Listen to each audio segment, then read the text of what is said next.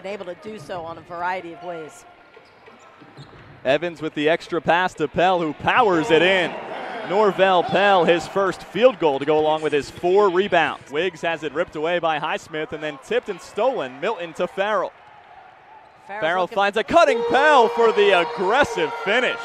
He was looking for a blue jersey to be a running mate, and He he, found one. one. Played first quarter, and this was one of the beauties to Norvel Pelle.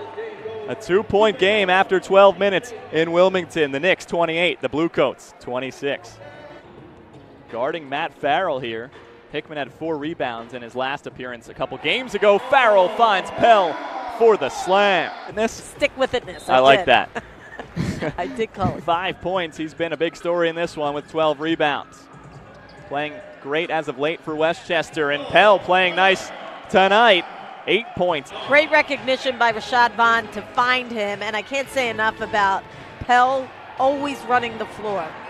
and always doing that. Matt Murphy and D line him with you. Farrell lobbing for Pelle and a pretty finish. That was a volleyball tap. Part of that, Matt, when you're going to shoot as many threes as they do, you're not attacking the rim as often as your opposition. Pelle giving Milton some room, getting it back and throwing it down. The hammer. What, what's so interesting for uh, his rebounding, his athlete. Farrell thrown home by Norvel Pelle. When you have a Matt Farrell and a Jared Brownridge coming off 24 23, 4 points, 23.9.